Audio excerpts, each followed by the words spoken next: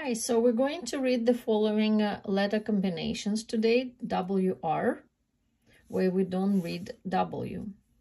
For example, wrap, wrist, wrestle, write, wreck, wrong, wrench, wrinkle, wrath, wrestling. GH is F, cough, laugh, tough, rough, enough, trough, draught, laughter. GH is G.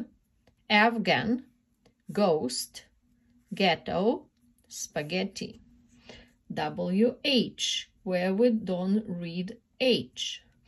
Narwhal, wheel, wheat, whale, whisk, whip, whistle, whiskers, wheelbarrow, what?